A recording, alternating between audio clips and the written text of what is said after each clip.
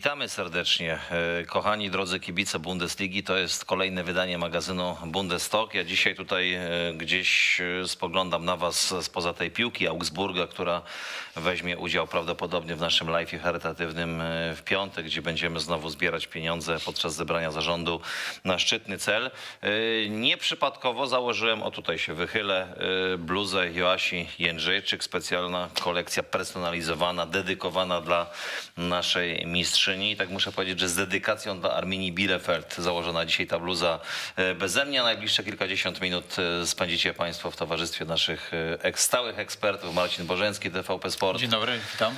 Damian Gąska, Die Qualität, Weszło FM. Dzień dobry. No Marcin, to już mówisz nawet, że wiesz, bez kolejki dostaje warzywa w osiedlowym sklepie, bo pani jest fanką Bundesligi, która, która sprzedaje pomidory. Darmo i- komunikacją miejską, jak trzeba. No tak, no, za chwilę wiesz, następny etap. Wizyty w zakładach wizyty pracy. w zakładach pracy, tak.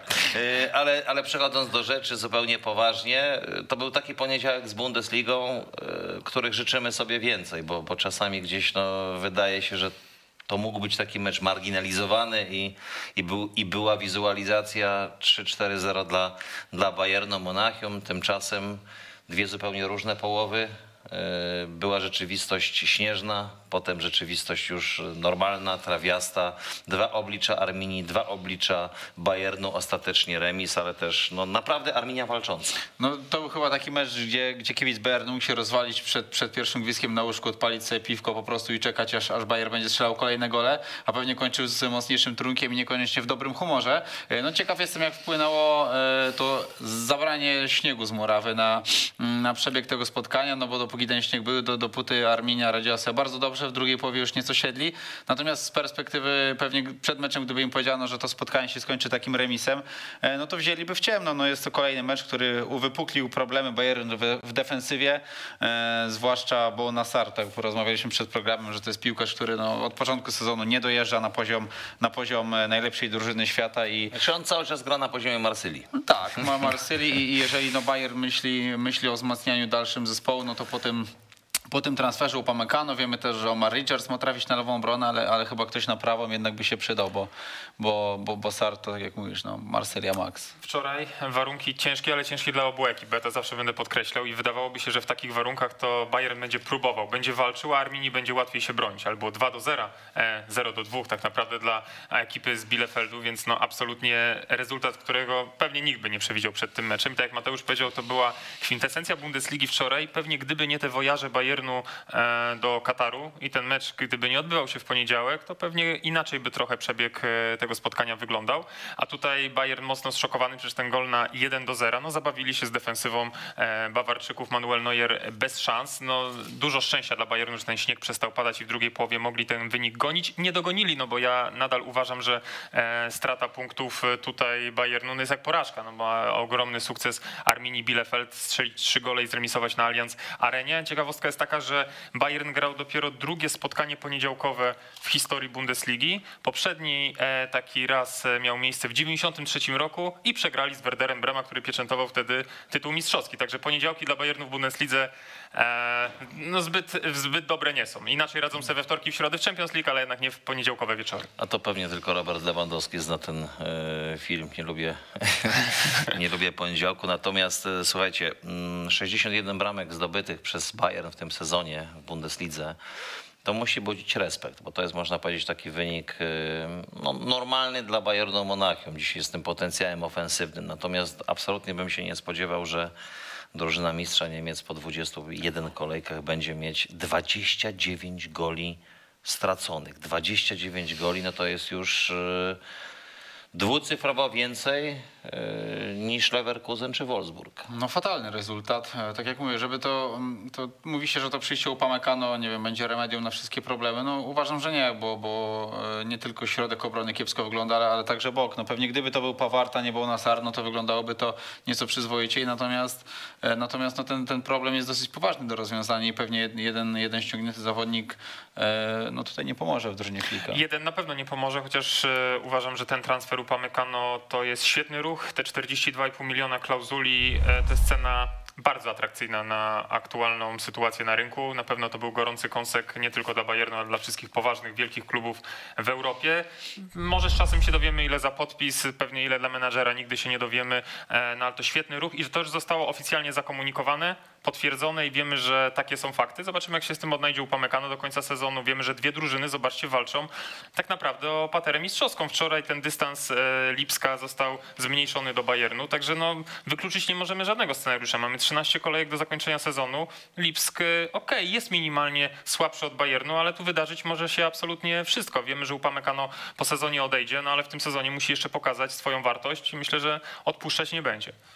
No jest e, kilka ciekawych e, pomysłów jeszcze transferowych e, w Monachium. My tutaj pewnie za chwilę sobie zobaczymy jakieś transfery wewnętrzne. Nie wiem, czy też nam się uda zobaczyć te 10 najdroższych transferów w historii Bayernu Monachium.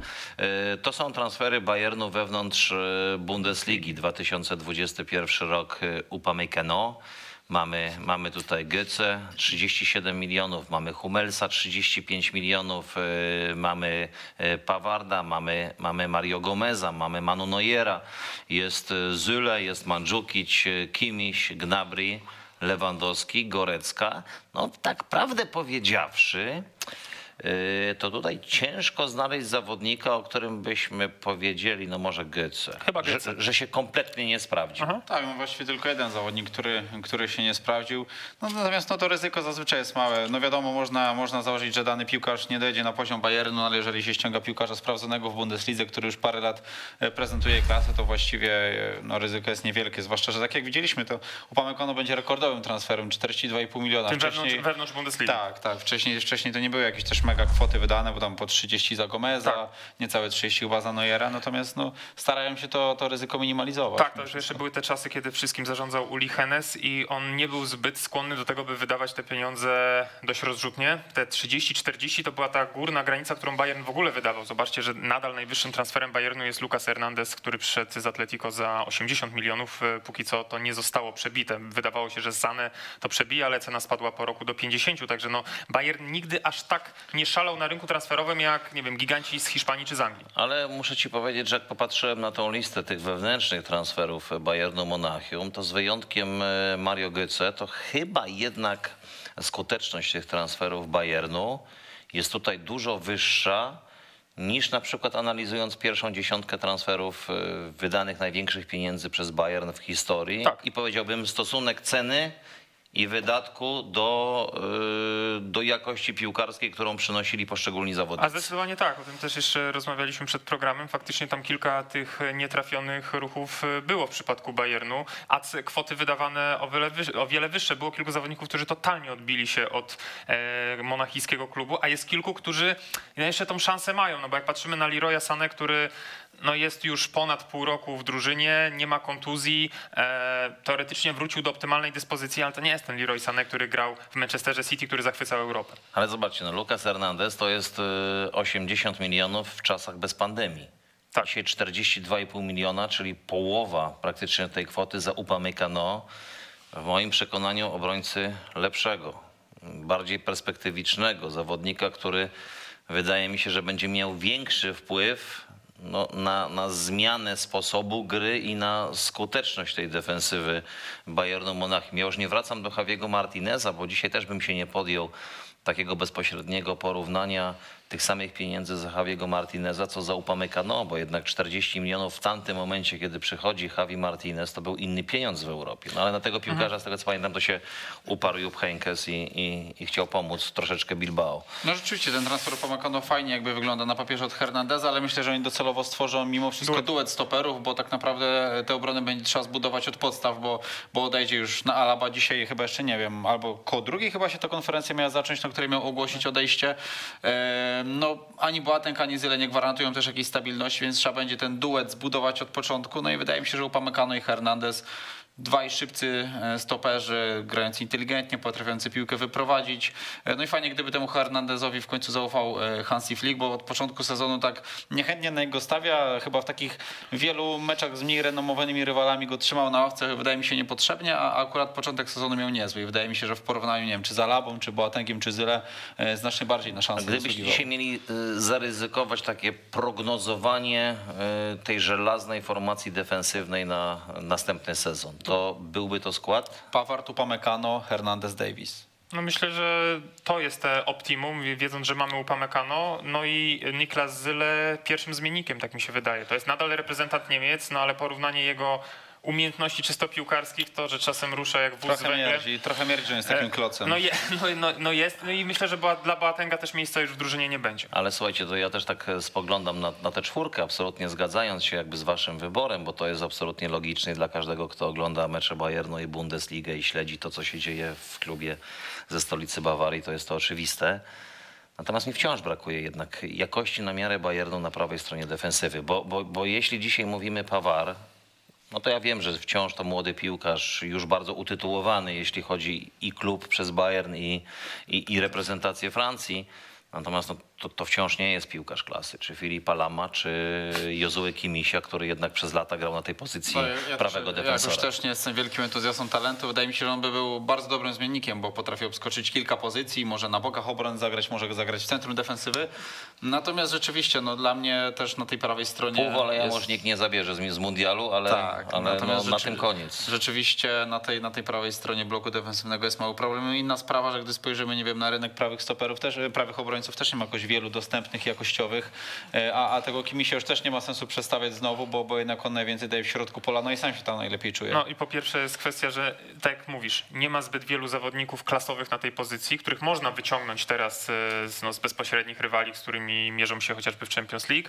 No i też kwestia finansowa, jak za Upamecano 42,5, no wiemy, że klauzula, to tutaj te 50 milionów za jakiegoś naprawdę klasowego zawodnika na tej pozycji to jest minimum do wydania. Nie wiem, czy Bayern będzie skory do kolejnego tak wysokiego transferu w czasach pandemii. Ale zobaczcie, bo też e, tutaj Bayern jakby cały czas rozważa kilka transferów wewnętrznych. Mówi się o e, tym niezwykle utalentowanym obrońcy z Herty BSC, to jest 17-latek e, Luka Netz. E, Pojawił się na tej liście Friedl z Werderu Brema, a także Sosa ze Stuttgartu. Także zobaczymy, czy, czy gdzieś te transfery znowu wewnętrzne zostaną sfinalizowane przez, przez Bayern Monachium. No tak, no jeżeli zakładamy, że ten Hernandez ma zostać przeniesiony do środka obrony, no to trzeba kogoś na ławkę na lewą stronę kupić. Akurat Sosa to wydaje mi się, że jest taki piłkarz, którego szkoda byłoby mi na ławce, bo to jest czołowa postać w tym sezonie w Stuttgarcie i w Bundeslidze, jeden z najlepszych na swojej pozycji. E, Friedl to byłoby chyba takie w miarę rozsądne łatanie, bo, bo dziwi mnie to, znaczy ja w sumie nie oglądam e, Omara Richardsa, nie oglądam Championship regularnie, natomiast no to jest mimo wszystko dziwne, że Bayern chce rezerwowego lewego obrońcę z drugiej ligi angielskiej wyciągać, a Friedl to jest taka, no może nie jakaś mega bardzo zawsze trzymająca wysoki poziom opcja, ale no mimo wszystko grana w Bundeslidze i pewnie na te mecze ligowe dałby sobie radę. No. Z tych zawodników stawiałbym na Sousę, bo No wydaje nie, no mi to się, że wiadomo, bez najwięcej nie jest i, najlepszy. i tak jak ty powiedziałeś, Znaczy nie znam, szczerze mówiąc, nie widziałem nigdy na oczy tego młodego chłopaka z Herty Berlin, także trudno mi sobie gdzieś tutaj jakby dzisiaj odpowiedzieć na pytanie, jaka to jest skala talentu. Nie ale wiem, chyba to nie jest chłopak na tu i teraz. Nie, nie, I- no ale, ale wiesz, to jestem bardzo ciekawy, co, co ten chłopak musi mieć nieprzeciętnego i jak on musi grać, że jednak już dziś na tym etapie zwraca na niego uwagę e, Bayern Monachium. Rozumiem, że rozmawia z jego agentami, rodzicami, samym chłopakiem, roztacza przed nim jakieś wizje, także No być, mo- Bayern jest, jest być może nam się uda za tydzień zadzwonić do Berlina do kogoś i, i coś spróbujemy tutaj Zobaczcie, że Bayern, zgłębić. że Bayern jest dobry właśnie w wyciąganiu takich chłopaków w propozycji szybkiego wypożyczenia do innego klubu Bundesligi i mamy mnóstwo przypadków tych wypożyczeń, czy do Stuttgartu, czy do Hoffenheim. Dzisiaj to są były albo są gwiazdy Bayern Monachium, nie wiem, z Gnabrym na czele. Na razie Aleksander Nybel nie lubi tego. No, no, Aleksander Z, przyzwyczaił się do ławki rezerwowych i chyba mu tam dobrze. Niestety muszę chyba powolutku tutaj mm, sypać głowę popiołem i prawdopodobnie no, życie zweryfikuje moje plany dotyczące przeskoczenia Klausa Fischera przez Roberta Lewandowskiego do końca, do powoli po końca telefon e, sięgać lutego. No, no nie wiem, czy, czy po telefon, żeby kolację zamawiać, czy, czy zmotywować naszego kapitana reprezentacji, że, że za chwilę tutaj będzie musiał dołożyć się do tej kolacji, jeśli, jeśli ja przegram e, publicznie, gdzieś dając mu wiarę w te, te niezwykłe wyczyny snajperskie. 261 gol w Bundeslidze w historii. występów Roberta e, przeciwko Arminii Bielefeld. E, No w tej chwili 7 trafień straty do Klausa Fischera. Mamy 16. Zostało chyba dwa mecze w Ciężko. No ja, ja W wczoraj tym miałem, wczoraj Frankfurt. Miałem, tak, wczoraj miałem nadzieję, że Lewandowski trochę postrzela ten, ten jeden gol zdobyty bardzo ładny, bo, bo kapitalnie opanował piłkę, od razu odda strzał. Natomiast w tym analogicznym, słynnym sezonie Gerda Millera, on w 21 kolejce, pamiętam, popisał się pięcioma golami, no aż czegoś takiego się po lewym nie spodziewałem, natomiast liczyłem, że te dwie, trzy wrzuci do sieci, bo, bo z kim jak nie z drużyną e, pokroju Arminii Bielefeld, no i troszkę niedosyt pozostaje. Tym bardziej, że w następnej kolejce Frankfurt, no to będzie nie lada przeprawa, tym bardziej pojedynek snajperów, bo. Słuchajcie, no to spróbujmy sobie to zestawić. Po 21 kolejkach i 20 meczach rozegranych, bo nie grał z Kolonią, Robert ma 25 bramek. Gerd Miller miał na tym etapie, Oj, mniej, mniej na pewno, ale nie pamiętam dokładnie ile. Ale wydaje, już że... wtedy się zbliżył, bo właśnie miał ten, Wydaje ten, ten, szalony ta- mecz z tymi piątka, no pięcioma coś. golami. No zaraz po- postaramy się Ale to zobaczcie. Robert teraz tak mówiąc kolokwialnie ciła te gole, jest regularny, nie można mu tego odmówić, no bo po jednym trafieniu dorzuca, zostało nam 13 kolejek. Po jednym trafieniu nie wystarczy, więc No nie, jakieś no, dwa, znaczy- dwa znaczy, doppelpaki musiałyby być. My rozmawiając o tym, że przebije Garda Millera, mówiliśmy, musi przyjść albo jeden hat-tricki, Albo jakiś szalony mecz. jeden doppelpack, albo musi mieć regularność w doppelpackach, to znaczy 5-6 No doppelpacków na przestrzeni tych, tych 13 kolejek i wtedy, wtedy jest szansa, że to się uda. W ogóle nie zakładałem, że on karnego nie strzeli, bo No jest miałby inna dzisiaj, bo miałby dzisiaj już 26. Tak, miałby 26, miałby 26, no teraz taki rywal jak Arminia, chociaż Wczoraj w ogóle widać było, że e, jak męczyło go, e, jakby męczyło go to, jak Bayer grał w ofensywie, bardzo dużo grał poza A widzieliście, co pokazywał przed rozpoczęciem spotkania dla kolegów Nie. z drużyny? Zaczął sypać śnieg, bo w momencie, kiedy wychodzili na boisko, praktycznie ten śnieg nie padał. Śnieg zaczął padać w momencie praktycznie pierwszego gwizdka i Robert zaczął gestami Po- pokazywać, żeby po grać mu, ich wysłał. Być może e, ludzi z, e, pracujących na Allianz Arenie, ale do kolegów pokazywał, że grali mu górne piłki, że próbowali i Robert będzie próbował robić to, co w meczu chociażby No Alaba e, na klubowych mistrzostwach świata. Szkoda, że tylko. Prawda też jest taka, że jak oglądaliśmy tę piękną bramkę zdobytą przez Lewandowskiego, to od razu zacząłem myśleć yy, i, i przypominać sobie ostatnie mecze kadry. Kiedy on dostał takie podanie w pole karne, żeby, no tak. żeby mógł dla reprezentacji strzelić taką piękną bramkę? Żeby, Wiecie, w reprezentacji często żeby to było wyjście cofnięty. na pozycję, No gra na klatkę, obrót, uderzenie. No to się wszystko wydawało, że to jest proste, ale, Tak, no ale to też ktoś ci to musi dostarczyć. Tym bardziej, że nie było wczoraj Tomasa Müllera, z którym Robertowi idzie najlepiej. a To, Tomas jest, to, w ogóle był chyba jeden z większych wczorajszych problemów Tak, i to jest że- problem. Widzicie, Thomas Müller wykluczony przez koronawirusa, nie zagrał w finale klubowych mistrzostw e, świata. 10 dni kwarantanny. Wrzuca filmiki w social media, że czuje się dobrze, ale wiadomo, że musi być odizolowany.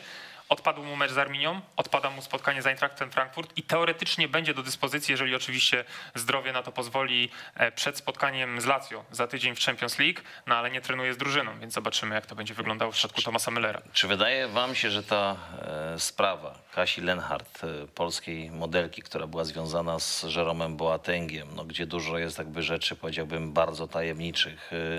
Boateng wyjeżdża z Kataru, leci do Niemiec, prawdopodobnie no, tutaj musi, musi złożyć jakieś, e, nie wiem, już mnie ludzie poprawiają na Twitterze, nie wiem, czy, czy wyjaśnienia, czy, czy relacje, czy swoją jakby optykę na, na te ostatnie dni i ostatnie kontakty, relacje z, z byłą już swoją dziewczyną.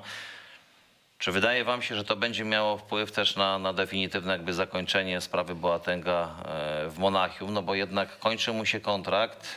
E, Sprawa jest trudna. Sprawa moim zdaniem e, jeszcze chwilę potrwa. Do tego też no, było wielkie story w Bildzie. Potem błyskawicznie gdzieś Bild też zamknął usta i przestał relacjonować tę, tą sprawę. To też jest dla mnie dosyć dziwne, no bo jednak Bild jak taki temat dorwie, to jedzie tym tematem przez, przez kilka dni. Mm, No i jednak no, ktoś to będzie musiał razem z Boatengiem trochę wziąć na klatę.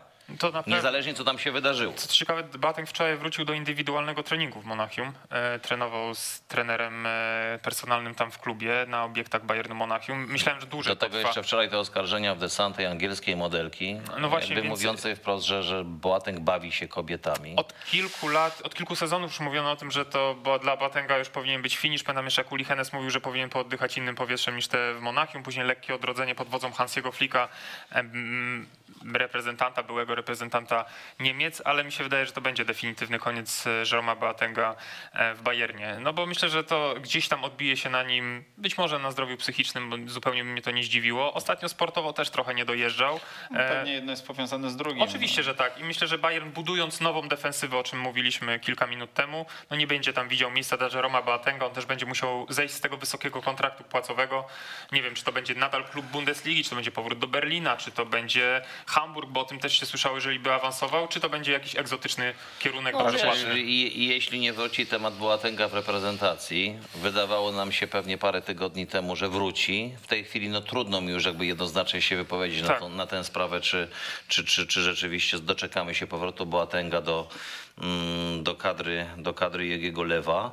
Y, Natomiast jak nie będzie kadry i będzie do, dosyć napięta cały czas sytuacja, to ja nie wykluczam, że on jednak wybierze jakieś Petra dolary albo, albo azjatycki kierunek, albo Zatokę, No tak, tak, albo przyszłości, przyszłości w, Baj- w Bayernie raczej nie ma. W ostatnich latach Bayern raczej starał się zerwać z tym wizerunkiem FC Hollywood, czyli klubu, który, którego piłkarze generują różne skandale i trafiają na czołówki gazet nie tylko z uwagi na, na wygrane e, mecze, trofea i piękne gole, e, ale także z uwagi na jakieś właśnie e, afery pozaboiskowe. No i wydaje mi się, że, że no, miejsca ani piłkarsko, ani, ani tak, że tak powiem, tego jaki ma wizerunek w mediach obecnie dla Potęga już w Bayernie Słuchajcie, za chwilę jeszcze dwa słowa o, o klubowych mistrzostwach świata, natomiast yy, no, ponieważ zaczęliśmy od tego meczu poniedziałkowego, a, a tydzień temu gdzieś szerzej rozmawialiśmy o Arminii Bielefeld, tak spoglądając na tabelę, Arminia yy, w tej chwili dokładnie tyle samo punktów co Hertha BSC.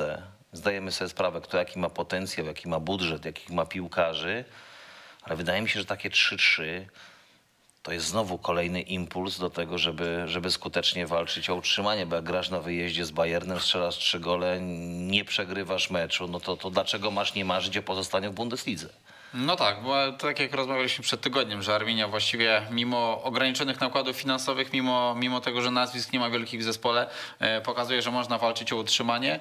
E, na ten wczorajszy mecz to pewnie fajny taki kop na rozpęd dla, dla zespołu, bo, bo chyba się pewnie się spodziewali mimo wszystko, że nawet Bayer zmęczony pewnie ich spokojnie, spokojnie pyknie, a wywieźli raz, że punkt, a dwa, tak jak mówię, nie wiem czy nieważniejsze od tego punktu jest to, że, że to im chyba doda skrzydeł taki Myślę, myślę że taki tak. remis. I pamiętajmy, że Arminia ma zaległe spotkanie z Werderem Tak, i to jest taki rywal, którego mogą nawet pokonać po No już się wczoraj wydawało, że rozpędzie. Arminia e, wygra, już kibice Arminii byli aktywni w mediach społecznościowych, potem ostatecznie remis, Artur Wichniarek gdzieś tam odnosząc się do historycznego zwycięstwa jeszcze z, z golem i obecnością Wichniarka w składzie napisał, że to czasy średniowieczne były e, na Twitterze. Natomiast no, ja pamiętam, że, że to była bardzo ciekawa historia też z tym zwycięstwem Armenii nad, nad Bayernem Monachium. Nie wiem, czy pamiętacie, bo to był taki czas, gdzie Artur Wichniarek, trenerem chyba był z tego co pamiętam Thomas von Heisen, e, ściągał Artura Hermann Gerland, drugi trener Bayernu Monachium, natomiast to był czas Thomasa von Heisena i próbowano Artura Wichniarka zmusić do e, powrotu do Polski na wypożyczenie. Bo, bo były takie oferty. On nie do końca był tym zainteresowany, a nawet powiedział wprost y, y, prezydentowi, dyrektorowi sportowemu, że w ogóle go to nie interesuje, nigdzie się nie wybiera, bo ma ważny, bo ma ważny kontrakt. I wtedy, z tego co pamiętam, to dwóch albo trzech napastników złapało kontuzję y, i, i, i ten Wichniarek gdzieś tam nie łapiący się nawet na ławkę rezerwowych i nie grający w ogóle w Arminii Bielefeld został przez trenera wezwany i, i na tych treningach taktycznych ustawiony jako podstawowy napastnik. Wywiązała się jakaś dyskusja między Arturem a jego ówczesnym menadżerem Andreasem Grajewskim, no, który tam troszkę chyba zawodnikowi sugerował, żeby niekoniecznie w tym meczu grał, no bo wiadomo, brakowało mu rytmu meczowego, no i, i tego Artura, którego zdrowie sprawdzał przez cały tydzień trener, czy wszystko w porządku po każdym ćwiczeniu, po każdym strzale, y, coś zakuło koło czwartku. Natomiast no, podjął w piątek, ja pamiętam ten czas, podjął w piątek ryzyko. Powiedział, no, co ja mam do stracenia? Wyjdę, zagram z Bayernem i, i, i się okazało, że strzelił bramkę w tym meczu, dołożył do tego asystę i, i tak się zaczęła ta przygoda duża Mimo tego bardzo trudnego startu, gdzie 17 meczów nie strzelił gola, a potem był bardzo daleko nawet od składu. I od, i od tego Bayernu to się, to się zaczęła. Ta nowa też, karta. Dlatego te kibice Arminii też często do Artura Wichniarka wracają. No, on jest na pewno najpopularniejszym kibicem Arminii no, wiem, w polskich social mediach. No, był gwiazdą tego klubu, to zrozumiałe i dalej się z tym klubem identyfikuje, no ale widać jakie jest postrzeganie. E, chociażby widziałem nagranie z klubowych mediów Arminii z Arturem Wichniarkiem. No, jest wielki szacunek do tego zawodnika, także Myślę, e, że- nadal status e, Myślę, kibica. że gdyby mieli wczoraj takiego napastnika, znaczy takiego, albo napastnika w takiej formie jak w tamtym meczu Wichniarek, to, to mogliby ten mecz wygrać, bo w drugiej połowie Kordowa miał ze dwie Tak. takie sytuacje, gdzie było bardzo dużo przestrzeni przed bramką Neuera. Można się było zabrać, ale on się no niestety tak nieskładnie i chaotycznie zabiera, że...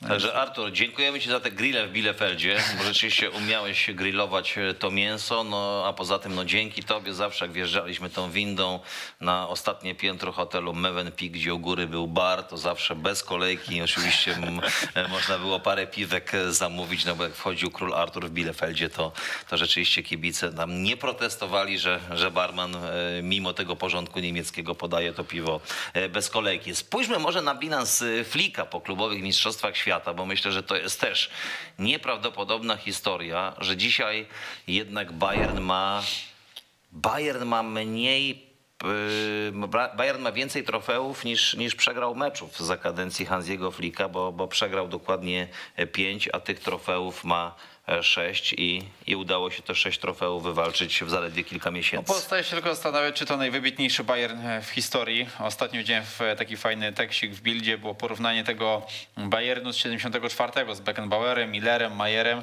e, i, i tam przepytywano tych piłkarzy z tamtych lat, który Bayer jest lepszy. No oczywiście oni trzymali swoją stronę i, i, i Beckenbauer mówił, że, że Miller gdyby miał... Gdyby miał tyle miejsca na boisku co Lewandowski, to miałby dwa, dwa albo trzy razy więcej goli, bo, bo za jego czasów tego Millera kryło po trzech, czterech obrońców. Natomiast no być może oglądamy najwybitniejszy Bayern w historii. E, Bardziej może oglądaliśmy pod koniec poprzedniego sezonu, bo, bo jednak biorąc pod poprawkę na grę defensywną w aktualnym, to, to jednak e, nawet nie wiem, czy w obecnej, no, no nie, no to, to na pewno najwybitniejszy nie jest, natomiast e, no maszyna. No wczoraj jak wzięli w obrotę Arminię, już pomijając tę grę defensywną, ale jak wzięli obron, w obrotę Arminię, jak, jak się rzucili do gardła przy, przy 1-3, przy 2-3, no to, to naprawdę e, cud, że, że, że ta Arminia uratowała Ale widać, że ewidentnie nie umieją w to grać w śniegu i powinni nad tym, nad tym elementem popracować. Jeśli chodzi o to klubowe Mistrzostwo Świata, to to jest e, czwarte takie trofeum, bo oczywiście wiemy, że klubowe Mistrzostwo Świata jest takim naturalnym kontynuatorem Pucharu Interkontynentalnego, a połowa lat 70. Wtedy jeszcze rozgrywano dwumecz. Bayern lepszy od e, Cruzeiro e, Belo Horizonte. Jedną z bramek zresztą w Monachium strzelił Gerd Miller. 2-0 e, w rewanżu 0-0. W tej drużynie mieliśmy Sepa Majera, Gerd Miller, z tego co pamiętam Schwarzenbeck, Uli Hennes, grał też Karl-Heinz Rummenigge. Mm, Paul Breitner. Potem 2001 bramka Kufura, Tak. oklaskiwana przez Kofiego Anana na trybunach, wtedy sekretarza ONZ-u. No i, i, i drugi raz y, Bayern gdzieś w tej erze klubowych mistrzostw świata też sięga po to trofeum 2-13. y, Guardiola wtedy raża Casablanca, 3-0 Guangzhou w półfinale, 2-0 raża w finale i, i, teraz, y, i teraz wygrywają najpierw półfinał z Al Ahly, a potem, a potem finał z Tigres, finał, który mnie nie zachwycił. Finał, który był taki, powiedziałbym, do odbębnienia, do, do zapisania, do zdobycia kolejnego trofeum. Ta nagroda dla Roberta też myślę, że zdziwiła samego Roberta. Tak, złota piłka. A potem druga, to moim zdaniem ta nagroda nie wiedział za bardzo o co chodzi, ale, ale odebrał najpierw statuetkę e, złotą, a potem, a potem po prostu trochę złota w sztabce. Ale, ta, ale taka fantastyczna organizacja, Katar, przygotowują się do Mistrzostw Świata. Obecny Gianni Infantino zabrakło jednego medalu dla Tak, e, dla triumfatorów, bo wszedł Hansi Flick i na końcu Manuel Neuer, który jako kapitan miał podnieść trofeum i zaczęli między sobą dyskutować, kto bierze medal e, na szyję. Finalnie założył go Manuel Manuel Neuer, także nie do końca taka perfekcyjna organizacja. Jest co poprawiać Słuchaj, przed to, mundialem. Ktoś już tam przez Szejka został wezwany, na skazany na roboty myślę, drogowe. Myślę, myślę, że tak to mogło wyglądać. Faktycznie mecz bez większej historii. Zrekompensowali sobie trochę Puchar Niemiec pod względem finansowym, bo za zwycięstwo w Pucharze Niemiec można około 6 milionów euro zainkasować. Tutaj 4, 1, zależy od kursu, e, także trochę zrekompensowali finansowo odpadnięcie szybkie z Pucharu Niemiec. No i jest to przede wszystkim, to chodzi o prestiż. Jest szóste trofeum, wyrównali to, co zrobiła Barcelona w 2009 roku i myślę, że to jest najważniejsze. Sześć trofeów w jednym sezonie. Słuchajcie, trener Roz obejmuje Dortmund, to już jest pewna, pewna informacja, którą, którą ogłosił e, klub. Okazuje się, że te 99% Maxa Eberla, e, a potem 98 już nie znaczy koniecznie tyle. My tydzień temu dyskutowaliśmy tutaj, czy Adi Hütter, e, czy to aby nie jest dzisiaj najlepszy kandydat do objęcia Dortmundu.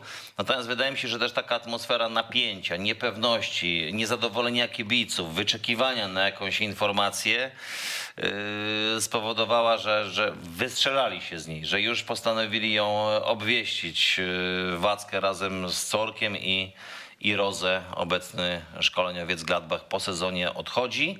Co ciekawe, uruchomiona klauzula. Tak, ja mimo wszystko nie spodziewałem się, że oni ogłoszą to już teraz. E, wczoraj Bild pisał, no, o ile to jest prawda, że rzeczywiście piłkarze Gladbach troszkę się wkurzyli, że poczuli się zdradzeni przez Rozę, że, że tak wcześniej im to ogłosił. Natomiast e, no, z perspektywy Borussii e, fajny ruch. No, oni, oni są moim zdaniem troszkę zakładnikiem takiego szukania cały czas nowego klopa, bo oni każdego nowego trenera do takiego klopa przyrównują. No jeżeli takiego szukali, no to akurat Roza jest niezłym kandydatem, bo był, był, był piłkarzem u klopa w Moguncji, dobrze się z nim zna, 4 taką śmieszną historyjkę, że, że kiedy świętowali w 2004 awans do Bundesligi, to, to Klopp już pijany tam wlał w siebie trochę szampana, piwa i wybełkotał do Rozę, że będzie kiedyś świetnym trenerem. No, Pijacka przepowiednia, ale się sprawdziła. Roze jest świetnym trenerem, idzie do Dortmundu, natomiast wydaje mi się, że paradoksalnie on ma sporo do stracenia, bo, jeżeli Borussia nie awansuje do Ligi Mistrzów, jeżeli będzie konieczna sprzedaż dwóch, trzech gwiazd, Mówisz o Gladbach. E, Nie, A, to o Borussia Dortmundzie. Dortmund, tak. No to, to ta sytuacja e, Rozy nie będzie tak łatwa na starcie, bo tam zawsze są oczekiwania wygórowane, nie tak jak w Mönchengladbach. A mówię, bez Ligi Mistrzów, bez potencjalnie dwóch, trzech zawodników, to w pesymistycznym wariancie e, no spora misja dla, dla mimo wszystko zdolnego szkolenia. Tak, ale wydaje mi się, jak do końca będzie grało Gladbach, bo Gladbach też walczy o europejskie puchary. Tam jest całkiem e, ciekawa drużyna. No okej, myślę, że nie Liga Mistrzów, bo fenomenalnie idzie ten Wolfsburg z Eintrachtem, punktują i wątpię, żeby się to Słuchaj, wykoleiło. a- słuchaj, ale nam się teraz zapowiada ćwierćfinał Pucharu Niemiec. Derby A, no Borussii. tak, tak, tak, tak, tak. Mecz ligowy się już odbył, a teraz e, derby Borussii. Jak do tego będzie podchodził sam Roze, bo zobaczcie, patrzymy na tabelę i oni są, idą łeb w łeb Borussia Dortmund z Borussią Mönchengladbach w walce póki co europejskie puchary. No i nie dopuszczam sytuacji takiej, że Marco Roze jako no, aktualnie trener Źrebaków podłoży się pod to, żeby wyżej była Borussia Dortmund, żeby coś wygrała, bo za rok tam będzie. No nie, no może to- tego zrobić bez nie, no nie, profesjonalistów. no to, to są Niemcy, to jest No, to- to Bundesliga, nie- to, to nie jest nie, piłkarski mówmy, poker. nie mówmy o podkładaniu. E, To nie jest piłkarski poker, ale myślę, że w przypadku e, korzystnego wyniku dla Dortmundu takie spekulacje w niemieckich mediach czy wśród niemieckich kibiców na pewno się pojawią.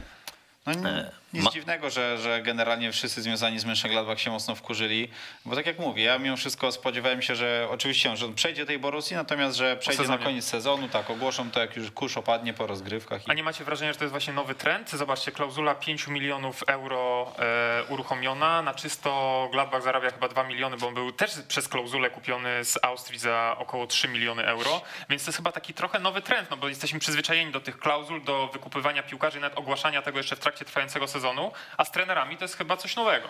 Proszę bardzo, to jest Borussia Dortmund sezonu 2020-2021. Osiem porażek. Panowie, osiem porażek. Gorsze są tylko zespoły z miejsc 12-18. Półtora e, gola straconego na mecz przez e, Borussię Dortmund. Potem są kolejne statystyki. Dałem wam zadanie domowe e, kilkadziesiąt godzin temu, żebyście sprawdzili, Ile razy była uruchomiona e, klauzula przy e, pozyskiwaniu trenera w Bundeslidze? Ja pamiętam, że taki historyczny moment to, to, to było przyjście e, czy odejście Dauma, prawda? A, to już wieki temu. Wieki temu, ale jestem właśnie bardzo ciekaw, ile, ile takich e, przypadków było w historii, gdzie klub płacił za trenera. Mimo wszystko, tak jak Damian mówi, wydaje mi się, że to może być trend, który będzie e, coraz, coraz czę- częściej się będą takie przypadki pojawiały, ale dotychczas nie mieliśmy Że wiele. jest taka oficjalna E, tak, komunikacja, tak, tak, tak, nie że gdzieś tam pod stołem ktoś w gabinetach klubowych dogaduje się, No tylko ciekawe, jest to tak, tak. transparentnie. Co ciekawe, Borussia jakby e, wiedziała, na co się pisze, bo, bo Rose sam mówił, że miał oferty, kiedy trafiał do Bundesligi z Schalke, Wolfsburga i Gladbach, no ale jakby zna swoją wartość, tylko Gladbach mu zaproponowało te klauzule, więc wiedział, że w razie czego będzie mógł się swobodnie ewakuować. No i dzisiaj pewnie, pewnie jest zadowolony, choć ciekaw jestem, jaka tam sytuacja w szatni Źrebaków. Czy jest już giełda nazwisk do objęcia Gladbach? Jest, jest, jest. No, takim chyba najoczywistszym kandydatem Marsz. wydaje się Jesse Marsz z e, Red Bull Salzburg, czyli ten sam kierunek, co co Marco Rose. Widziałem, że mówiłeś też o, o Florianie Kochwelcie z Werder Brema, chociaż on sam to dementuje.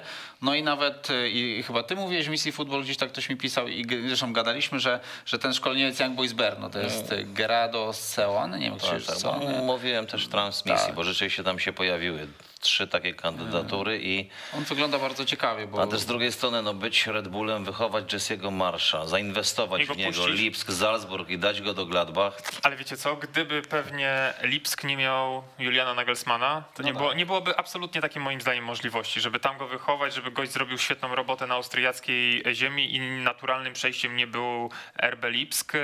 No ale mają Nagelsmana, to raczej jest projekt e, długoterminowy, no a gość też pewnie nie będzie chciał wiecznie być w Austrii, chce się sprawdzić w mocniejszym No, klubie, w co, mocniejszej no, lidze. ale, ale może trzeba właśnie dawać szansę takim trenerom jak Kochfeld. Zobaczymy, jak on by sobie poradził w takiej Borussii Mönchengladbach. Na pewno Roze y, dzisiaj to się modli, żeby nie doszło do transferu y, Erlinga Halanda, bo chciałby w końcu popracować i wszczepić swoją filozofię futbolu w zespół, który ma napastnika.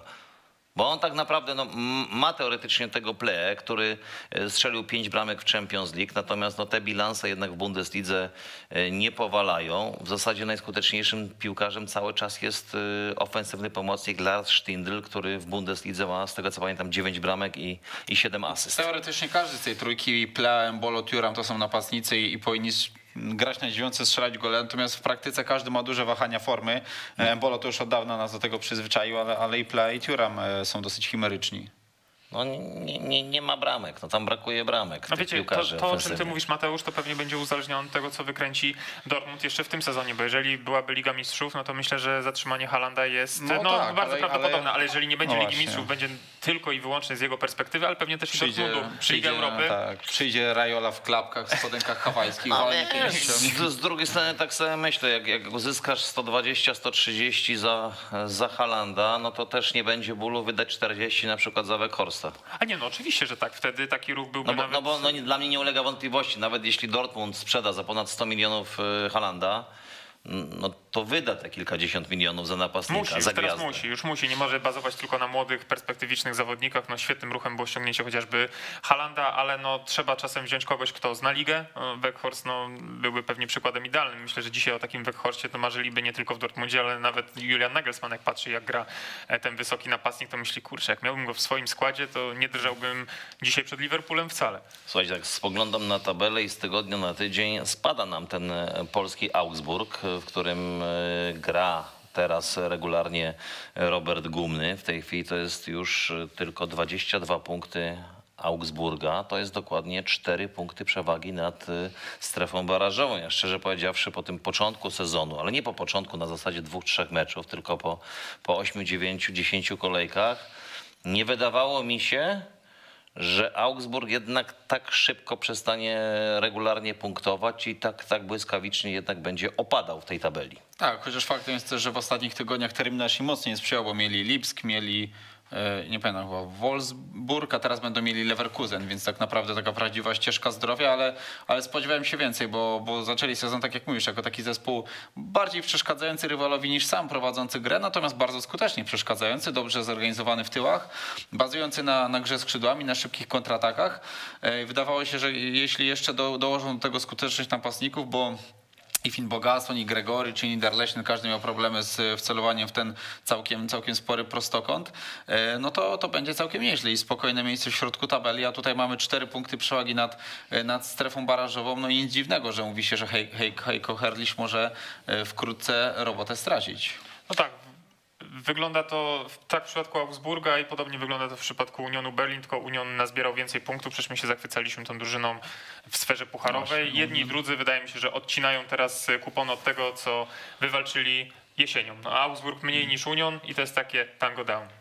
Słuchajcie, patrzę tutaj jeszcze raz na tabelę. Lipsk 5 punktów, dokładnie straty do Bayernu Monachium, ale też 5 punktów przewagi nad Eintrachtem Frankfurt W perspektywie mecz z Bayernem u w, siebie. tak. Wolfsburgiem, także no to jest dzisiaj dosyć komfortowa sytuacja Lipska, bo to jest i tak świetny wynik, biorąc pod uwagę, że tak naprawdę cały czas grają bez środkowego napastnika. Znaczy są tam ludzie na tej pozycji zapisani na liście płac, ale, ale nie ma tyle bramek, ile wyobrażał sobie e, trener Nagelsmann. E, a już dziś wieczorem Lipsk gra z Liverpoolem e, w Budapeszcie.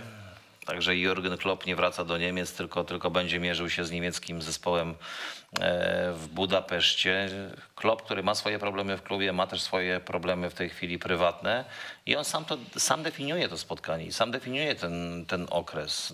No kto wie, czy to nie jest najtrudniejszy gdzieś czas w tej chwili w jego, w jego trenerskiej karierze. Mam wrażenie, że gdyby Liverpool podszedł tego meczu tak jak w takim składzie personalnym jak podejdzie, czyli pewnie z Hendersonem na stoperze, być może z, z tym kawakiem, który ma za sobą średnie, średnie początki e, w barwach The Reds, a Lipsk miałby napastnika, no to chyba stawiałbym jako faworytów Dwumecz. zespół Nagelsmana, tak, bo, bo, bo, bo z dziewiątką byłoby o wiele łatwiej, natomiast no cały czas jednak z tyłu głowy mam to, że tam nie ma kto strzelać goli, tam są kombinacje, a to Forsberg akurat, akurat który dziś nie zagra, to Nkunku, a to Olmo pełni taką funkcję fałszywej dziewiątki, natomiast no cały czas brakuje kogoś, kto te nogi będzie potrafił dostawić, no i, no i to może mocno komplikować życie e, drużyny Nagelsmana. No, patrzę teraz na, na zestawienie w, w kickerze, a kicker myli się dosyć rzadko jednak, jeśli chodzi o te składy, no to to wygląda na to, że Liverpool może zagrać w defensywie w zestawieniu Arnold, Phillips, y, Henderson i Robertson. No to, to, to na pewno... A y, maszynkę ofensywną Lipska, no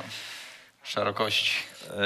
A, a zobaczmy, w jakim ewentualnie dzisiaj Lipsk może zagrać e, składzie, bo też e, zastanawialiśmy się nad tym. W bramce Gulaci, trzech obrońców. Tutaj e, tak na bazie, na bazie naszej wiedzy, a także tego, co, co piszą niemieckie gazety, no jest to możliwe. Klosterman, Upamecano i Orban.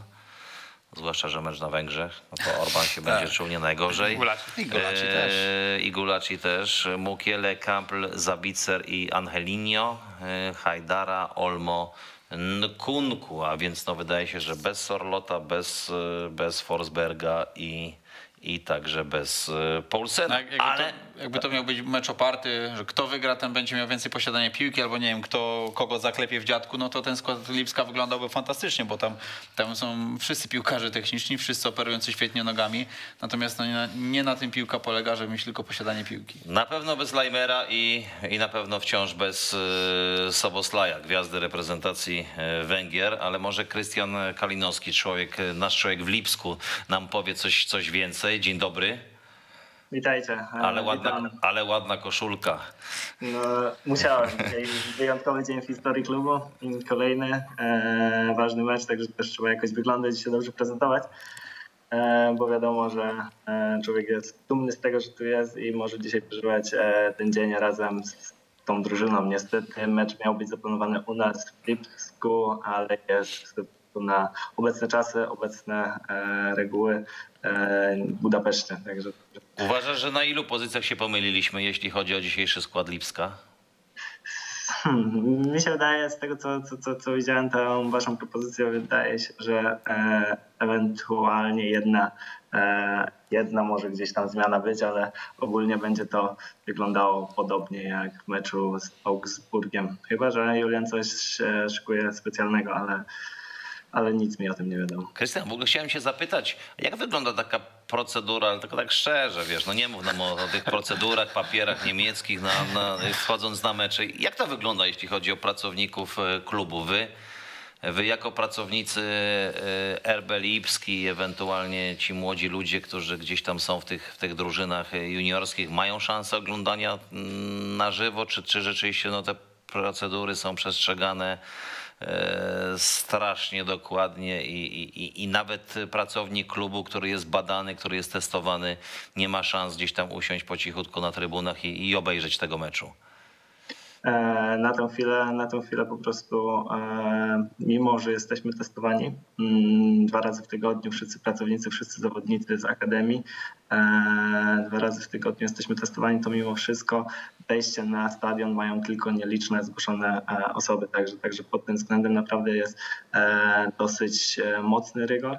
Mm, Gdy przed pandemią było to dużo łatwiejsze i dużo przyjemniejsze e, ze względu, że e, każdy zawodnik, każdy pracownik iść bezpośrednio na stadion, także dzisiaj no niestety człowiek musi się obejść smaczkiem te, te, tego meczu, także e, po pierwsze, że jest mecz w Budapeszcie, a po drugie, że nie, nie mamy po prostu wejścia na, na, na stadion. A co powiedz z nimi z rozgrywkami e, piłkarzy z akademii?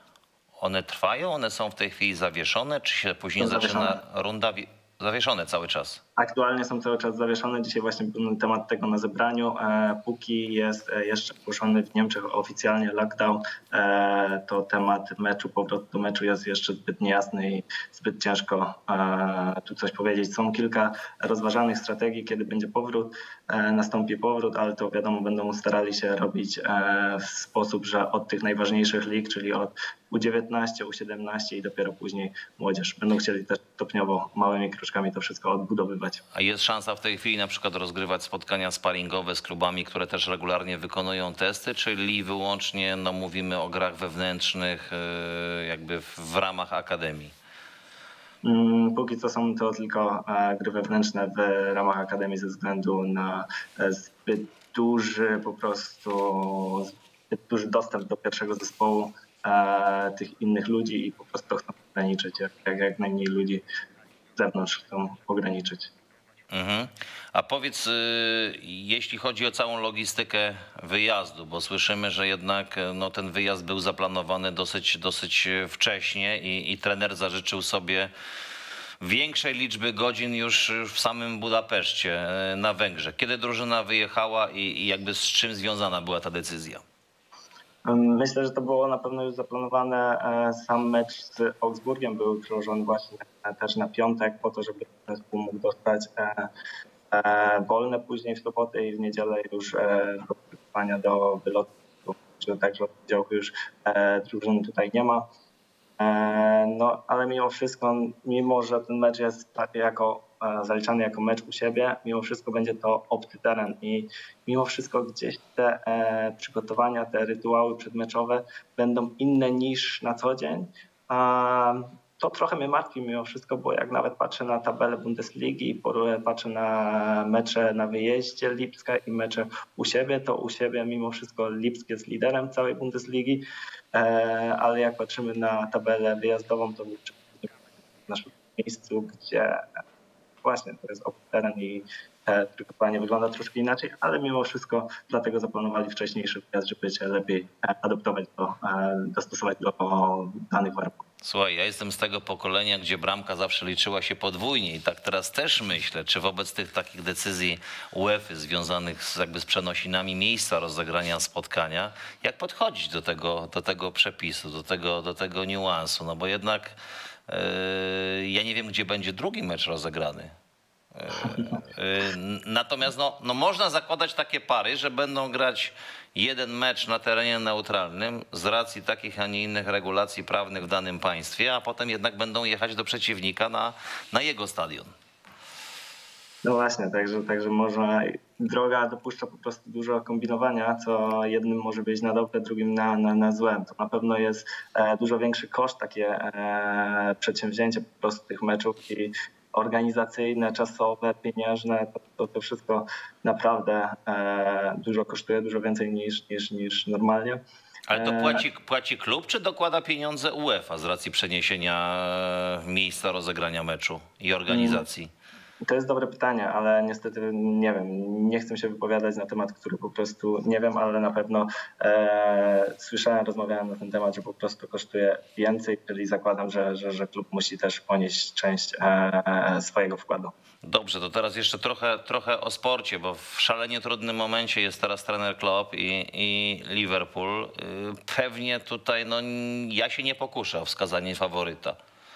E, chociaż wybieram na pewno dzisiaj ten mecz do oglądania, bo bardzo mnie on interesuje jakby w aspektach e, taktycznych, e, mentalnych, kto, kto to lepiej uniesie.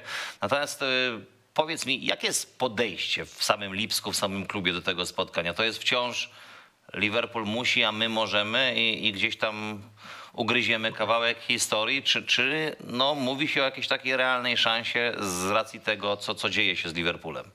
Mm, no właśnie w tym widzę dzisiejszą szansę e, naszego zespołu. To na pewno jest aktualna forma.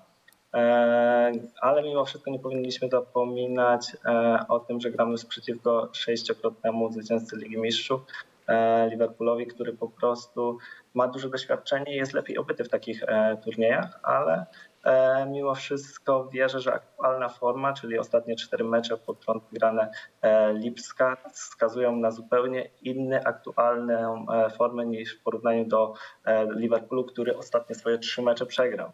E, Także, także tutaj e, widzę tą szansę i na pewno, chociaż z drugiej strony wiadomo, Puchar rządzi się, e, Puchar Liga Mistrzów rządzi się zupełnie innymi prawami, są dwa mecze e, i tu jest szczególna motywacja i czynnik motywacyjny będzie grał też ogromną rolę, a wiadomo, że Julian Nagelsmann i Klopp, e, Jurgen Klopp jest, e, są specjalistami od motywowania swoich zespołów i na pewno to będzie mecz, wielki mecz, jeżeli chodzi nawet o założenia taktyczne, bo to są e, naprzeciwko siebie stają dwóch trenerów, którzy są po prostu e, wielkimi taktycznymi e, gigantami. Ja ci muszę powiedzieć, że bardzo lubię obserwować y, ludzi w mieście w takim dniu meczowym, to rosnące napięcie, gdzieś ta taka świadomość zbliżającej się dużej chwili, tej, tej godziny zero, która za chwilę wybije. No dzisiaj to spotkanie jest w Budapeszcie. Czy, czy Lipsk żyje normalnie, czy jednak jest gdzieś wyczuwalne y, takie wyczekiwanie na, na ten wieczór, że coś się, coś się dużego może wydarzyć? Jest, jest. Jak, jak wchodzi się po prostu do akademii, może nie tak na mieście, ale właśnie jak się wchodzi do akademii, do bezpośrednio tego e, miejsca, to gdzieś każdy o tym już rozmawia, każdy e, tym żyje, każdy e, o tym rozmawia. To jest temat numer jeden i każdy po prostu czeka już na tą godzinę 21, e, gdzie sędzia pierwszy raz gwizdnie i i, i, mamy nadzieję, że po prostu Lipsk ruszy e, tak jak to zapowiada e, na przeciwnika, że nie zostawi im miejsca na boisku. Do tego będą jako zespół e, e, współpracować bardzo dobrze i nie, nie pozwolą się rozwinąć skrzydeł po prostu Liverpoolowi. To myślę będzie główna taktyka na dzisiejszy mecz z Liverpoolem, by myśleć o korzystnym wyniku. Panowie? No ja swoją drogą chciałem tylko dodać, że czytałem, że nawet e, Lipsk zabrał swojego speakera i speaker swoją jakąś tam płytę muzyczną, które piosenki, które puszcza przed meczem i w przerwie, więc, więc no wszystkie ręce na pokład i nawet chociaż ten mecz w Budapeszcie, to będą chcieli zrobić go jak najbardziej po domowemu. Czytałem też, że ma być stadion w jakichś tam biało-czerwonych kolorach, e, e, świecić wszędzie, są jakieś te herby porozklejane, plakaty z piłkarzami. Zresztą trzech piłkarzy, no Szoboszlaj nie zagra, ale Gulaci i Orban są Węgrami, więc no jakieś tam połączenia te lipsko-węgierskie są. To może Sobosta pojechał jako przewodnik do, do Budapesztu. Mm, Teoretycznie tak. Do tego jeszcze Pete Gulasi, który grał e, też chyba 6 lat spędził w Liverpoolu, jak się nie mylę. A no tak, Mm, on jest wychowankiem. Też, też jest dla niego wy- wyjątkowy mecz, bo nie dość, że w Budapeszcie, to jeszcze, jeszcze, jeszcze gra z No tak. Gdzie, gdzie dużo czasu spędził swojej kariery, e, gdzie się nie przebił jako numer jeden bramkarz. Wyjechał właśnie do Red Bulla, później Salzburg, później Lipsk i teraz po prostu może pokazać, co, czego się nauczył przez te lata i e, kogo może e, żałować po prostu Liverpool, bo myślę, że na drugiej stronie, na drugiej bramce, jak to ostatnio Klopp w wywiadzie po meczu z Manchesterem City powiedział, e, ktoś, kto miał zimne nogi, odmarznięte nogi, nie za dobrze mu wychodziło tam e, gra e, nogami dlatego jestem bardzo ciekaw, co dziś wyjdzie z tego wszystkiego. Ale Sobostaj poleciał z drużyną do ojczyzny, czy został? Mm, tutaj go nie widziałem, przynajmniej w Akademii go tutaj nie widziałem, więc, więc, więc zakładam, że e, mógł polecieć. Ktoś próbował jakimś fortelem, sprytnym, prywatną e, znajomością wyrwać skład od Kejty? Być może tak, chociaż Pieta nie zagrał, więc, więc, więc, więc nie. Pewnie, pewnie, pewnie nie chciał zdradzać tych tajemnic. To tak, no wiadomo, że, że jest tam insider, ale on pewnie nic nie powie, bo dzisiaj jego serce bije dla, e, dla Liverpoolu. E, two- Twoja prognoza, twoje odczucia, jak, jak to dzisiaj może wyglądać na boisku? Jak ten mecz twoim zdaniem może się, może się układać i co będzie jakby decydujące dla Lipska, żeby, żeby dzisiaj ograć faworyta?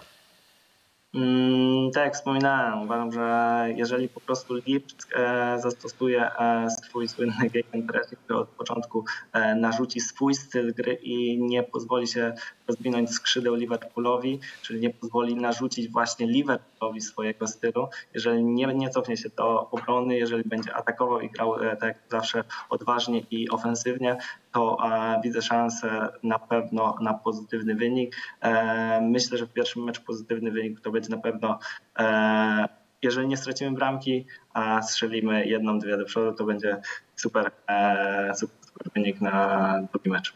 To słuchaj, powiedz nam jeszcze, jak, jak odebrano w klubie już obwieszczoną tę decyzję Upamecano, że, że stanie się zawodnikiem Bayernu Monachium. Już jest tęsknota? Czy są jakieś mini pretensje? Czy jeszcze się łudzono, że on zmieni zdanie i, i, i nie wiem, na przykład w tysiącach puszek Red Bulla odbierze część nowego kontraktu. Jak, jak to wyglądało? Wiadomo, straciliśmy e, filar defensywy, mm, ale myślę, że e, Red Bull z tym, tym, tym się też liczy póki co jeszcze.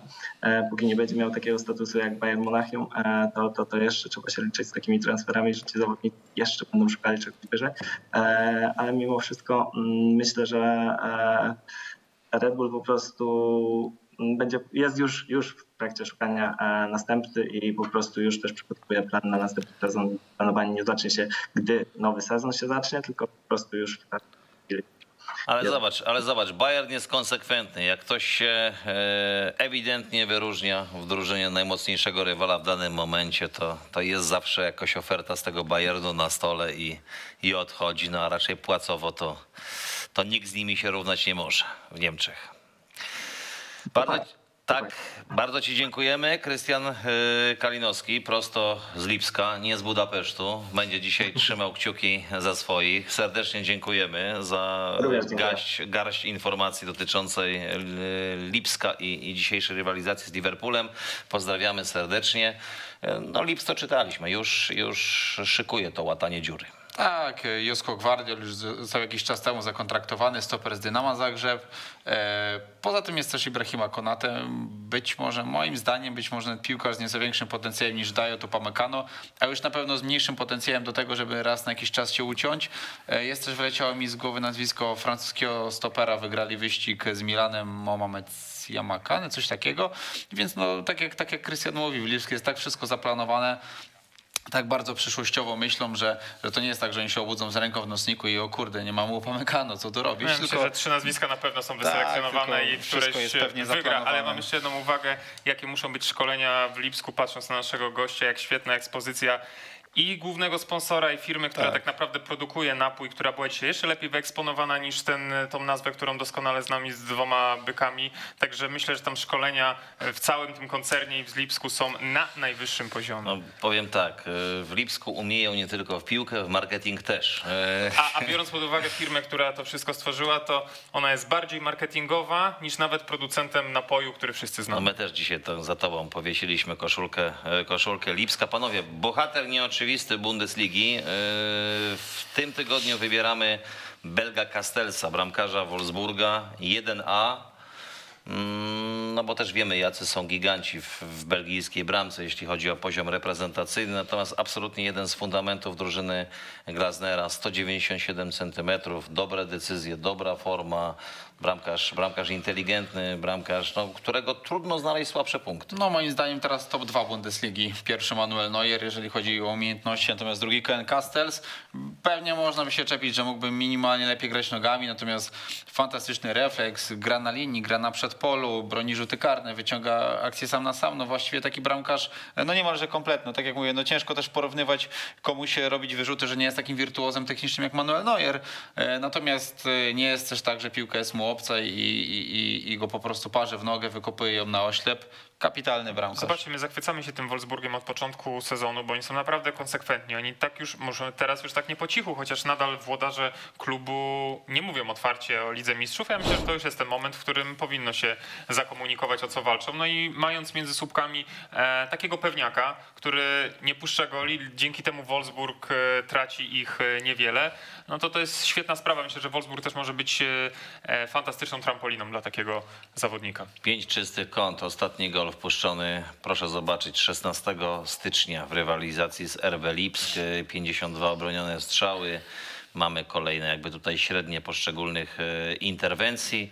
Ja tam zawsze spoglądam na tę jedenastkę Wolfsburga i to też jest ciekawe. 197 Castells centymetrów, 197 Weghorst, a więc no tak od bramki. No tam y, jest trochę chłopów, bo, Tak, bo jest ale- biały ale dokładnie taki sam wzrost środkowego napastnika, jak i bramkarza. Tam tak, można tak, było tak. grać spokojnie w piłkę ręczną. Ale rzeczywiście jest to w ogóle taki zespół, którym jest dużo wysokich piłkarzy, bo trzech napastników, trzech wysokich, no stoperzy to wiadomo, Lacroix i Pongracic i, i Brooks i Castells, więc No to już się robi ponad połowa składu. troszkę centymetrów tam jest. Tak. Mhm. Dobra, no to co? Jedziemy do Polaków na koniec. Yy, Zobaczmy, jak, jak grali nasi yy, gracze w pierwszej i drugiej Bundeslidze w tym tygodniu. E, Rafał Gikiewicz, no ten karny, broniony tutaj. Drugi raz też ruszył się z linii tak naprawdę, więc No tak, to, to wiemy, no, no, będzie interpretacja, będzie VAR, będzie analiza. E, 90 minut też Roberta Gumnego, który fajnie, że zaczął grać e, w drużynie Augsburga. E, Marcin Kamiński, ponoć na liście życzeń Lecha Poznań. Zobaczymy, czy, czy dojdzie do, e, do powrotu Kamińskiego do Ekstraklasy. Trudny mecz dla Krzysztofa Piątka, o którym pewnie za chwilę powiecie parę słów. Łukasza Piszczka brakowało w kadrze na mecz z Hoffenheim. Robert Lewandowski cały mecz wczoraj z Arminią i, i piękna bramka, 25 w sezonie. Cały mecz tym razem na ławce Bartka Białka, który, którego nie wpuścił trener Glasner. Eee, Polacy w tej kolejce nie wygrali, jeśli chodzi o, o pierwszą e, Bundesligę. Jak to wyglądało w drugiej? Eee, 15 minut Kopacza, e, poza kadrą meczową Dźwigała, e, 13 minut Martina Kobylańskiego, poza kadrą Stanilewicz, e, Bodzek przed w 81, Piotrowski cały mecz na ławce, tylko w wyjściowym składzie e, w ataku Fortuny Düsseldorf w rywalizacji z Jan Regensburg i w parze z Karamanem, e, Turkiem pojawił się nam e, Dawid Kownacki, ale zanim o Kownackim to myślę, że warto słowo o piątku. No męczy się Krzysztof Piątek, męczy się Herta BSC. E, No i tak można mam wrażenie, się- że za dużo się nie zmieniło. No dużo się nie zmieniło. No, jedyne usprawiedliwienie, jakie można na, na korzyść Dardaja wyciągnąć, to terminarz, bo, bo zagrali w pierwszym jego meczu z Bayernem Monachium. E, nie, on jest trzy albo dwa mecze prowadził, no ale w każdym razie... Trzy, Tak, dwa, dwie porażki remis. tak, z no, w Bayernem każdym, ten piątkowy, tak, tak, tak, tak. Więc no bardzo trudny miał terminarz na początek. Zobaczymy teraz, jak będą sobie radzili z rywalami bardziej przystępnymi, ale rzeczywiście zmieniło się rozczarowująco niewiele. No, Herta jest włączona w walkę o utrzymanie i trzeba o tym otwarcie mówić, a Krzysztof Piątek nie jest jokerem w talii e, Pala Dardaja i to nie jest gość, który wyjdzie i, dzie- i dzięki niemu Herta zdobędzie jakiekolwiek punkty, więc no ja tutaj w perspektywie chociażby wielkiego turnieju nie widzę Krzysztofa Piątka. Pytam panów jeszcze o prognozę. Na wtorek i środę, jeśli chodzi o niemieckie kluby. Dzisiaj Lipsk, Liverpool, jutro natomiast rywalizacja Sewilli z Borussią Dortmund. Państwo jeszcze widzicie kilka ciekawostek. Proszę sobie w międzyczasie czytać, a, a moi goście Dla mają mnie, dla mnie głos. Lipsk e, co najmniej remis myślę, że powinien wyszarpać, może jakieś minimalne zwycięstwo, natomiast Borussia spodziewam się, że będzie jak to mówią kibice, w czapkę, bo, bo naprawdę Borussia jest w bardzo słabej dyspozycji. Ja ostatnio miałem, znaczy sporo w sumie miło się ogląda Sewillę, parę razy miałem w tym sezonie okazję obejrzeć. Jest to bardzo fajny, bardzo poukładany zespół Lopetegiego i wydaje mi się, że zwłaszcza z u siebie... Barceloną to się dobrze oglądało. Kapitalnie, kapitalnie się ogląda i, i, i wydaje mi się, że obecną Borussię no, mogą e, hapsnąć. To prawda. Ja st- obstawiałbym minimalne zwycięstwo Lipska w dzisiejszym spotkaniu w Budapeszcie, chociaż myślę, że na wagę złota byłoby czyste konto e, Petera Gulaczego przed rewanżem na Enfield Road, ale jak miałbym obstawiać, to pewnie jakieś takie 2 do 1 dla ekipy Byków z Lipska. No a faktycznie ten jutrzejszy pojedynek, szczególnie na wyjeździe na ciężkim e, Pishuan, to myślę, że tutaj Dortmund będzie musiał mieć furę szczęścia, żeby wynik jutrzejszy dawał mi jakiekolwiek szanse w rewanżu w Dortmundzie. Słuchajcie, na koniec mogę zaproponować tylko e, mały zakładzik o kolejną kolację tutaj e, z wami. Dzisiaj chciałbym zaproponować taką zabawę, czy Andre Silva sięgnie po tytuł wicekróla strzelców Bundesligi, czy ktoś z tej grupy pościgowej go dogoni i przegoni. Ja stawiam, że sięgnie. Też jest rozpędzony, sięgnie, nie no. zapowiada nic, żeby miał się zatrzymać, chociaż następny pojedynek, no to będzie ciekawy mecz w lidze, bo to jest starcie z Bayernem Monachium, czyli lewy kontra Silva. Myślę, że fajnie, że e, Robert poczuł ten oddech. Myślę, że poczuł tego Andre Myślisz, Silwy. że si- siedem Dla bramek i poczuł? Wiesz co, dla mnie z jednej strony Robert walczy sam ze sobą, walczy z tym legendarnym Gerdem Müllerem, ale dobrze mieć kogoś za plecami. W tamtym roku tak z buta w ligę wszedł Erling Haaland. Teraz Haaland już przeskoczy, prze, przeskoczony przez Andre Silva. Myślę, że dobrze mieć kogoś takiego, że ten peleton gdzieś się do ciebie zbliża. Także pewnie się go nie obawia, ale wie, że jest i gdzieś tam na niego zerka. I myślę, że wicekrólem strzelców ja, będzie. ja z uwagi na dyspozycję, nie wiem, na przykład Herty, a, e, przepraszam, Borussii Dortmund, a Eintrachtu, e, no to jednak bardziej sprzyja napastnikowi dyspozycja Ma Eintrachtu, zagrać, więc tak. tak. więc jednak za Andre Silvą jestem. Słuchajcie, no to zobaczmy. W 21 kolejce wyrównany został rekord e, Bundesligi. Siedem remisów z dziewięciu kolejek. E, Tak się działo w sezonie 9-8, 9-9. Proszę zobaczyć, tak to e, wyglądało w tej serii spotkań. Zwyciężył Lipsk, wygrał też Eintracht Frankfurt z FC Köln, a w pozostałych meczach widzimy remisy. Nawet dwa razy było 0-0. Wolfsburg, Borussia i Werder Freiburg. Tak wygląda tabela po 21 kolejkach. 5 punktów przewagi Bayernu nad Lipskiem, z kolei 5 Lipska nad Frankfurtem i Wolfsburgiem. Na miejscach oznaczających Ligę Europy Bayer Leverkusen, Borussia Dortmund, poza pucharami Gladbach. Przypominam, ćwierćfinał Pucharu Niemiec, starcie dwóch Borussii, tej z Gladbach, z tą z Dortmundu. Na miejscu barażowym Arminia, ale też 18 punktów ma Hertha Berlin i nie wykluczam, że one się mogą zamienić po najbliższej I kolejce ten mecz zaległy. E, miejscami. Tak, i, i, i tak jest. I, Jeśli i dobrze mecz, liczę, i mecz zaległy. straciło matematyczne szanse na Mistrzostwo Niemiec. ależ to... 40 punktów brakuje, a 39 jeszcze do zgarnięcia, więc wydaje Trudno, się, że... europejskie puchary Właśnie pozamiatane. Właśnie No, w tej chwili nie w można mieć ten wszystkiego. opadł entuzjazm po twoich wyliczeniach. Już Nie wiedzą, że nie mają szans na, na majstra. Przepraszam, że E, zepsułem zabawy. Na miejscach spadkowych Mainz i Szalkę to jest klasyfikacja strzelców. Ro- Robert Lewandowski 25, Andre Silva 18, Haaland 15, Weghorst 14, Kramaric 13, także mamy tutaj grupę pościgową za Robertem. Jedenastka kolejki według Kikera. E, bez meczu oczywiście Bayernu Monachium, bo to będzie uzupełnione. E, No, Frankfurt, Frankfurt jest mocny w tej jedenastce i, i, i pewnie będzie mocny przed własną publicznością w najbliższej kolejce w sobotę o 15.25. Tak, na pewno będzie. Myślę, że to hit e, najbliższej kolejki Bundesligi. Jeżeli Kedira, asysta, wejście od razu jedenastka. Zaskakujące mimo wszystko, że... Widziałbym go już od e, że- początku. że tak, przed... Biorąc pod uwagę, A, tak bo ty go w ogóle broniłeś przecież tydzień No temu. tak, i setny mecz jeszcze w bo- insta, na Instagramie, tak Nie, nie, nie. Ja broniłem chyba dwa tygodnie temu, kiedy ten transfer, Czy był, dwa, dwa, ogłos- o, o, kiedy tak. ten transfer był ogłoszony. I ja się swojego Okej. trzymam. Jak na warunki Herty i Bundesligi uważam, że jeszcze coś ten Sami Kedira pokaże. A jak na warunki kanału sportowego, to myślę, że już dobrnęliśmy do końca i przekroczyliśmy dzisiaj czas o 5 czy 6 minut, bo zwykle staramy się to zamknąć e, w 60 minutach. Dzisiaj było troszeczkę e, dłużej. Bardzo panom dziękuję. Marcin Bożencki, TVP. Sport, e, Damian Gąska, Die Qualität, Weszło FM. Dziękuję. Mateusz Borek, kłaniamy się. Bundestok w każdy wtorek w kanale sportowym o godzinie 14. Do zobaczenia.